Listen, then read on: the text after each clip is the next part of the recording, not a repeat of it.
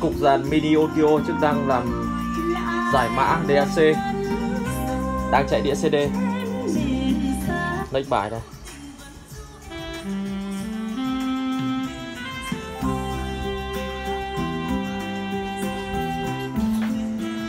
bây sẽ chạy tín hiệu giải mã quang từ cái đầu phát địa quang bên cạnh.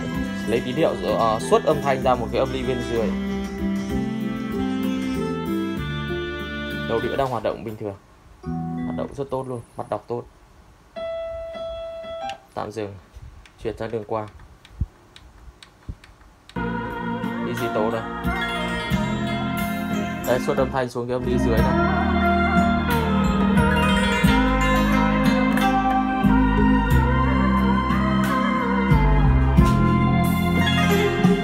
Đường vào quang, đường suốt âm thanh ra đây.